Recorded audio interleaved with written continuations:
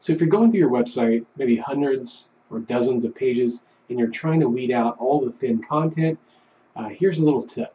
Go to the page or post itself, copy the title of the page, and then Google it. And especially if you're in a very competitive space, if you don't see that page on the first or second page of the Google search results by just copying, pasting literally the exact title, then you most likely have a page that Google doesn't like. Let's see, it's on this page. Yep, we don't see on the first, second page. So we're going to remove that page from being indexed by Google. Um, until next time, this is Dustin. Thanks.